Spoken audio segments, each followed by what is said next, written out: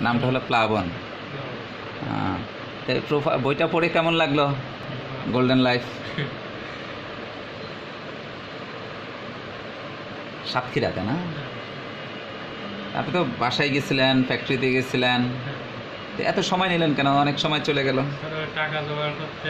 ইনশাল্লাহ এখন টাকা পয়সা জোগাড় হয়েছে। আচ্ছা আচ্ছা।